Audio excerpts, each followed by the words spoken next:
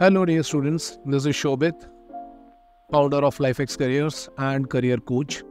और आज का वीडियो आप सभी लोगों के लिए इसलिए इम्पोर्टेंट है क्योंकि आप में से बहुत सारे बच्चे पूछ रहे थे कि सर स्पॉन्सरशिप की बेस्ट कंपनीज़ कौन सी हैं तो मैंने सोचा कि क्यों ना एक ऐसा वीडियो बना दिया जाए जिसमें हम आपको ये भी बता सकें कि जो अगस्त बैच होता है उसमें कौन से कौन से कंपनीज़ आते हैं और जो फेब बैच होता है उसमें कौन सी कौन सी कंपनीज़ आते हैं? क्योंकि सारी कंपनीज़ फेब बैच में नहीं आती हैं, लेकिन सारी कंपनीज़ अगस्त बैच में आती हैं।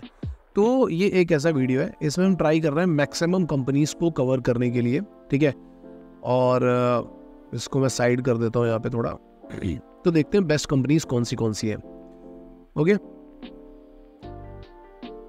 सबसे पहले एंग्लो ईस्टर्न दूसरा ग्रेट ईस्टर्न अच्छा इसमें एंग्लो ईस्टर्न ऐसी कंपनी है जिसका अपना खुद का कॉलेज है। यहाँ पे आप जा सकते हो मतलब यहाँ से डीएनएस आपको इसके कॉलेज से ही करना पड़ेगा।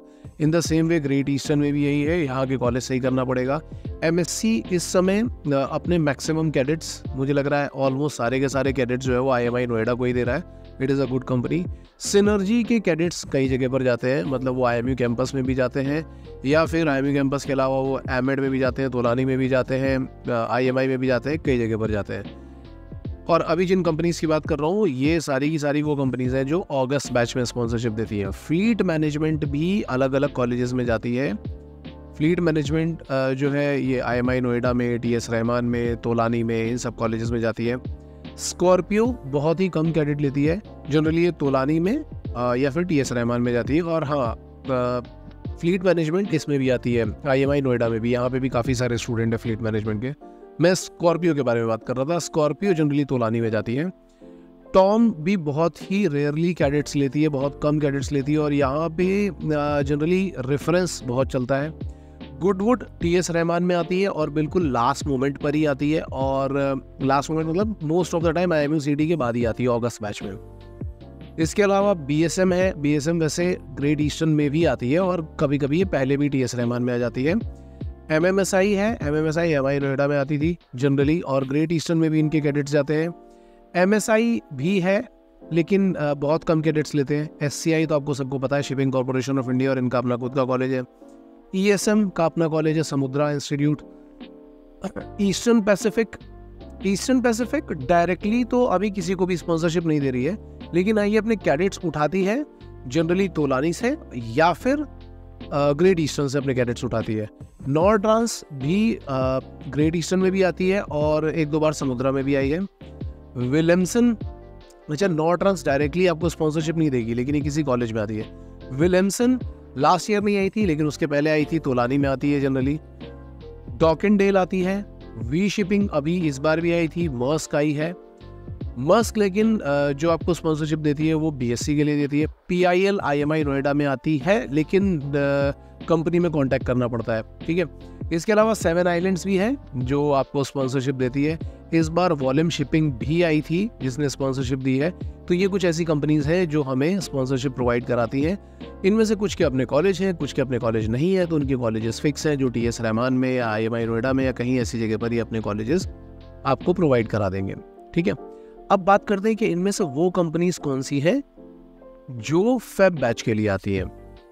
तो फेब बैच के लिए आती है आपके पास Anglo Eastern, Great Eastern Fleet Management भी आने लगी है लास्ट ईयर से।